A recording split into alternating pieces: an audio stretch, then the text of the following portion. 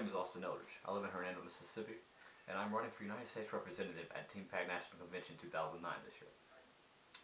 I have written a campaign song which I'm going to perform for you now. I originally wrote and performed it for the Mississippi State TeenPact class. It is written to the tune of David Crowder Band's Everything Glorious, so I hope you like it.